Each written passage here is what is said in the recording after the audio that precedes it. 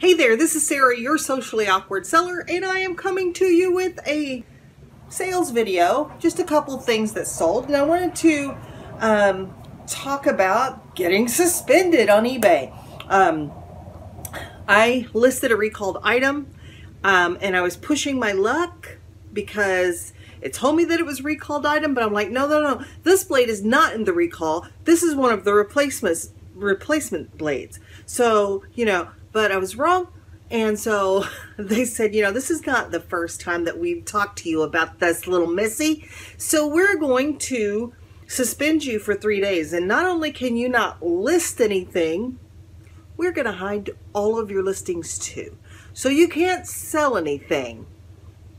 Well, let's talk about that because I'm shipping five today. Um, so when they say that they are hiding your listings, what they mean is someone is searching it newly, they can't find it. However, if there are off there are likers or watchers and you want to send offers, those items can sell. Also, apparently either um, either there was a glitch or somebody had already liked something and or watched something and decided to buy it. I'm not sure. But anyway, so I got this notification yesterday morning that no sales for three days. And I really kind of started to panic a little um, because that's half a week. This is my only source of income. And I am more like the grasshopper than the ants. You know, I, I spend like I'm going to get paid again tomorrow all the time, you know, and um, it's just who I am and I embrace it. Um, and so I started to just panic a little bit. What am I going to do? I have money in savings. It's not like I was going to starve or something, but you know, I don't try not to touch that. But anyway, so um, yesterday, uh, I had sold this item before, but they hadn't paid for it until yesterday. So I had this $25 sale on a West Bend high performance uh, food processor. This is the model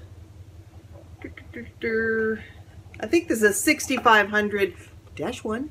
And um, I usually pick those up when I see it, when I see them, because they will usually do 25 to $40. It really just depends on what's with them, what accessories are with them. But anyway, so that sold. And then I picked this up on New Year's Day um, from the St. Vinny Bins. And um, this is a Pampered Chef Rockcrok and um, so I probably paid five or six dollars for this. Yeah, probably five dollars for this. And uh, because, you know, I buy that by weight and it is a crock. Isn't that a crock? Woo! Uh, anyhow, um, that sold for $27.59. I sent an offer on these. Remember, I bought these on New Year's Day or Christmas Eve, I can't remember, in a bag. And I'm like, oh, I could probably sell those. Um, this one sold. I sent an offer for $11.98 and it sold. And I was still in panic mode a little, but you know, I do have that other store. So worst comes to worst, it'll make a few bucks. Um, and these are parts for a Barbie dollhouse or something, $9.19. And then, and then I get the sale that I was not anticipating. And uh, I'll just put it right here. Um, I bought this item um, probably a good year ago. Uh, probably a year ago. Got it at one of those little Mennonite thrift stores up in Columbus and uh, I paid $15 for it. And basically what it is it's for uh, seeing impaired. Is that a thing? Um, yeah, people that have issues seeing, not necessarily blind, but you know, people that maybe have glaucoma or, or other issues where their uh, where their sight is impeded. Um, this magnifies reading material and uh, projects it onto a monitor. And this is a pretty expensive setup.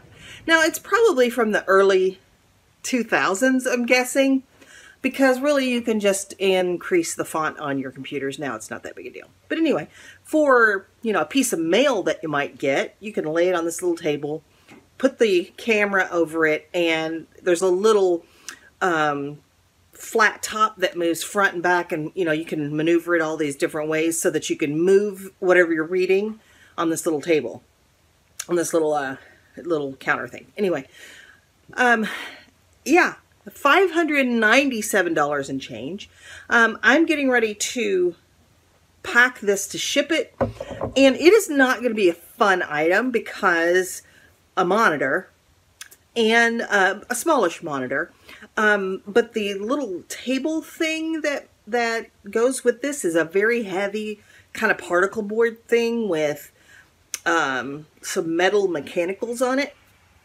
And uh, yeah, it's not going to be fun to ship. I may end up putting this in a couple of boxes. We'll see when I'm done. And I'm trying to decide would because this is such an expensive item, it's going to ship in multiple boxes, at least two um, do I insure each box for the full amount of the um, item? The reason I say that is if they break one item, this person is going to return the whole thing. And if they return the whole thing, I have to refund the whole thing. And because um, this is not something you can just go out to Walmart and buy or wherever. Um, so if they break one, but it's insured for the full amount, um, you know, will that cover me? Who knows with USPS right now? But I'll just make that decision in a, in a minute. So, um, tomorrow will be the last day of my suspension. Um, I'm trying to get things worked through. I'm kind of lazy right now because I'm like, it doesn't matter what I do because they're not going to let me list anything anyway. But I am trying to get some, uh, I don't know why I had to become a Valley girl to say that. I'm not sure. Um, but uh, yeah, so I'm, you know, I'm not really very motivated, but I need to get some stuff at least drafted and photographed so that Saturday I can just start making all this stuff live. But anyway, um, I'm going to get this shipped. I'm going to get this packed. I bought some pool noodles to kind of help me along my way. Dollar Tree has these. Let me grab one.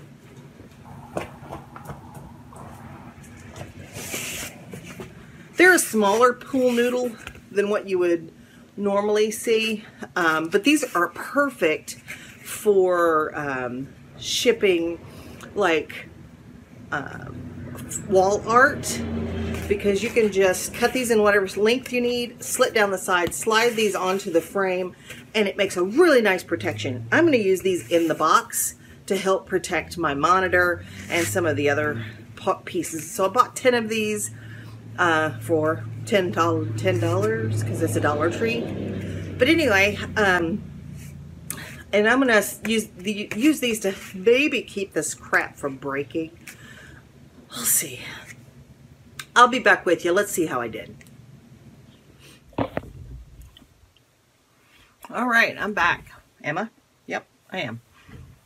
Um, so I got that big item shipped. It went into um, three separate boxes, a total combined weight of 56 pounds. And uh, for whatever reason, of course, the ship shipping was more than I expected. I don't know if I thought I was going to ship this a different way or I don't know. It doesn't matter. They still paid more than half the shipping and I paid $15 for that item. So I am not mad. And I did insure it. Um, yesterday I went to an auction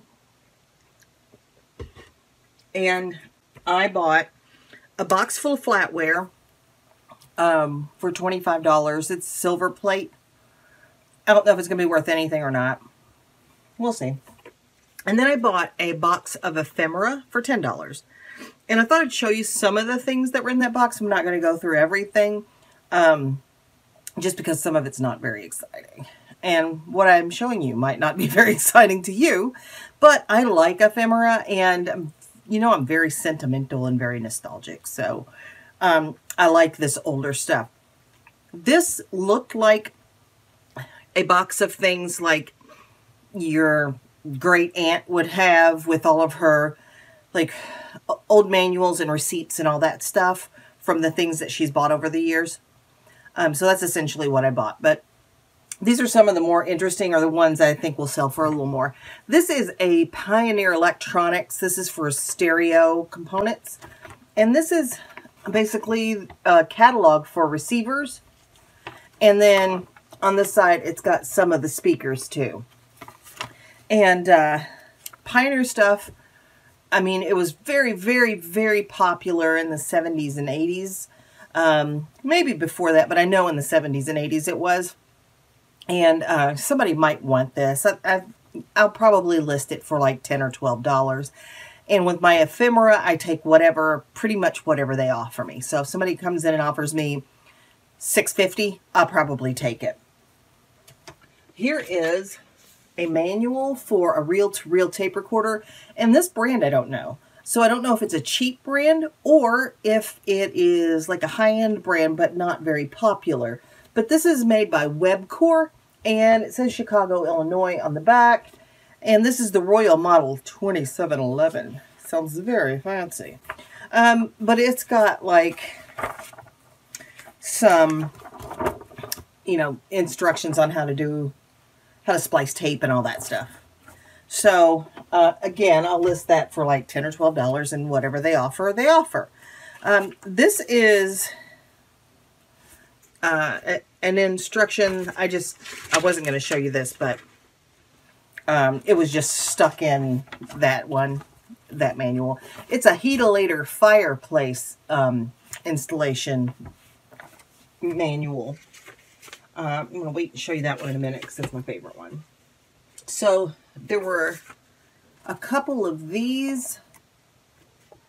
Um, this is for the dual uh, turntable, um, United Audio, and um, this is like a, um, a, not a catalog, but like a brochure for it that tells you everything about it.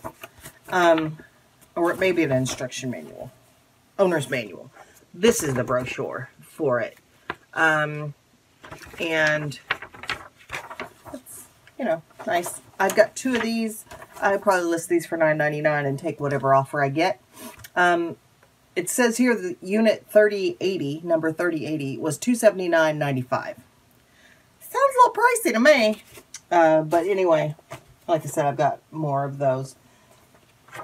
Here is a brochure for a Pioneer receiver um, with all the info, like when people cared about the the uh, circuit boards, like I know or anything. Um, but, you know, again, somebody might want that. This is a little manual for club cookware, and, and we've all seen these when we're out thrifting. Um, and I don't know if the if the aluminum cookware like this is worth anything. I'm not sure. But uh, I definitely thought somebody might want this little brochure. Um, so it's got the yellow, the chocolate brown, the avocado, and the orange. Very, very standard colors for that era. Um, and the date on the back is 1974. They somebody wrote that date. They're, they're, like my grandparents. My grandmother, her name was Anna May. Not May like the cartoons, but Anna May. Um, she would, even on furniture, she would put some kind of little paper thing on the back and wrote, like, when she bought it and where she got it, you know, if it was passed down to her or something. And then she would always have, like, who it's supposed to go to. Um, and I think, I guess that was just a thing back then. Um, so I always dress like this when I'm getting ready to shampoo the floor, like every time. Look at this. This is for an Electrolux carpet shampooer, and she's got her hair did, um, a dress on, heels, and she is shampooing her floor. God love her. Um, but this uh, on the back says that this was purchased in March 20, March 27th of 1970. So here it is. Here is the owner's manual for this. Um, and again, she looks really too nice, too well dressed to be vacuuming. But this one has the um, it has the receipt in it. And This one is from 1970. There's another one in here. This one's from 1955. And look how happy they are to get a vacuum cleaner. Even the dog. Look at that dog. He's so happy. Um, look at this art. Wow. It says, touch no dirt, breathe no dirt, see no dirt. Watch Joe Dirt. Um, this one has a receipt in it too. And I thought it would be interesting to share with you that they bought this vacuum cleaner in 1955 and they paid $181 for it. In, in $181 in 1955. Well, I asked the Googs, I said, Googs, how much is that in today's money? And Google told me that it was $1,742. Can you imagine? I mean, it's like buying a Kirby or, or, or a Rainbow Vac or, something like that now. Um, people have been calling me all day and I'm really tired of it. Uh, anyhow, so yeah, $1,742. Now on the other one, um, on this guy, they paid uh, $1,526, something like that. Um, it was $224 and it, um, it calculates and for inflation and all of that translates into $1,526 for a vacuum cleaner. And I think about that and I think about how um, like how disposable our stuff is. I think if I today gave $1,500 for a vacuum cleaner, I would take such good care of that. Like it would last me for the next 20, 30 years because that's a lot of money for a vacuum cleaner. But since I can go to the Walmart and get one for like 60 bucks, you know, you know it's going to be in a landfill in a year. so yeah, it's very distressing to me. Um, this is a manual for an Osterizer blender. Again, this is not exciting. However, Anna May had put the receipt in here. And what Anna May bought um, was a card table for $7.95 in antique white. She also bought four chairs in antique white, and the total for that was $27.30. And, and at the same time, um, and this is from Schmidt Furniture, and I didn't know Schmidt Furniture, which is a local chain, sold blenders, but I guess they do. This Oster blender was $37. So, calculated that for inflation. And that made this Osterizer blender, this uh, eight-speed spin cookery blender, um, $289. Come on! They don't, they don't cost it now. And I understand that before, you know, all this stuff wasn't made in China and all that stuff. Um, this was made in Milwaukee, made in the USA. So, my have how things have changed, haven't they? Um, a couple more things is this uh, Frigidaire built-in cooking top. Now, when I see the phrase cooking top, I feel like it's a blouse you got to wear when you're making dinner. But uh, actually, hmm, I was surprised to, know, to learn that no, it's just a stovetop insert. But um, really cool uh, graphics on this, photographs on this. Um, this is a Schwinn bicycle, tandem bicycle owner's manual. I'm, I was most excited about this. I don't know why. Uh, because look at those guys. Wouldn't you buy a bicycle from those guys? I trust those guys. Like, I know that this bicycle is going to keep me in my relationship forever because it's a tandem bike. But I digress. Anyway, but I was really excited about this. I don't know if it'll be worth much. Again, I've only got $10 in the whole lot. So I am more than guaranteed of getting my money back because I sell this kind of stuff all the time. So this is the last thing. And um, I just wanted to show you this one thing. This is actually um, some installation uh, instructions for Frigidaire for the cooktop and for the um, oven that they bought. But this is a little um, Frigidaire catalog. And I don't know when it's from. Uh, maybe 1962. But if I was going to buy a kitchen, it'd be a pink one. Look at that kitchen with the pink. I mean, I got, I, am sorry. I know it probably doesn't excite other people, but it does me. And look at that teal blue. Wonderful. Um, okay, here's something I didn't even know was a thing. And honestly, I still wish it was a thing. Um, in this oven, like the insides pull out so you can clean it. How cool is that? Plus it's in pink. I mean, it's in pink. Um, yeah. So pretty excited about that. Look at this cook cooktop. It's in pink. Um, here's a washer in kind of a turquoise blue or washer and dryer in pink. I guess I've seen a few of like the pink or blue appliances from back then, but not that many. Most of the ones that you run across if they're older are the avocado, the gold, the orange. So I was just very intrigued to see, you know, these other appliances. None of these are in color. Well, the, oven door is, but, um, you know, get yourself a little AC unit.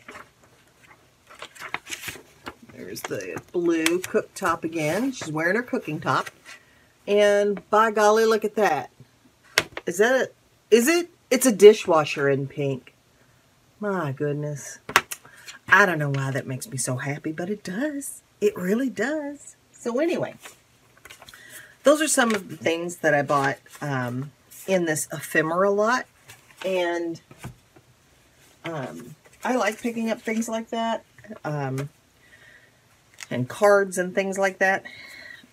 They make me happy. I mean, take they take a little while to list because there's a little research involved, but I still like buying them and they're usually cheap. So anyway, yeah. So, um, yeah. Couple more sales this afternoon. I will show you those at another time. Um, but um, apparently my store isn't turned off as much as eBay thinks it is. Um, I'm not complaining. I, I uh, attribute it to eBay's glitchy everywhere. And so maybe it's one time the glitches are working for me and not against me. So I may have said that earlier in the video. I don't know. I got no memory. So anyway, um, I am going to stop rambling now because that's all I'm doing at this point. Thank you for being here. I appreciate you. Like, comment, subscribe. Just remember that the dream works when you do. So keep dreaming, keep working. I'll see you guys the next time. Bye.